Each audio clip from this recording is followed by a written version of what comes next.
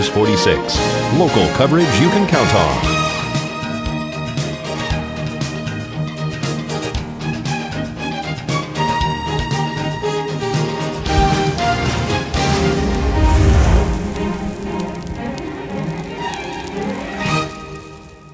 At Healthcare Partners Medical Group, our mission is to provide the highest quality of healthcare to each and every patient. With five locations in Pahrump, we are local doctors you know and trust. We want to thank you for choosing us. Quality care starts here. Pahrump Nugget, Progressive Cash Drawings, Mystery Point Multipliers, Mystery Gift Days, Extra Cash for four of a kinds, Bingo Bowling, Football, and Food Specials.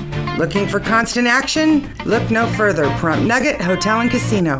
It all happened here at Comstock Park and Highway 372 right before 3 p.m. on Saturday afternoon.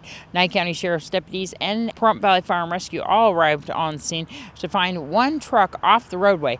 Both tires, the front and rear, were both popped on that side. The female driver and only occupant of the vehicle declined medical attention on scene. However, it was first reported that she, in fact, was injured. One of the deputies did field sobriety tests on her on scene, and another deputy followed up on that. Nevada Highway Patrol will be conducting this investigation. This is Deanna O'Donnell on Highway 372 in Comstock for News 46.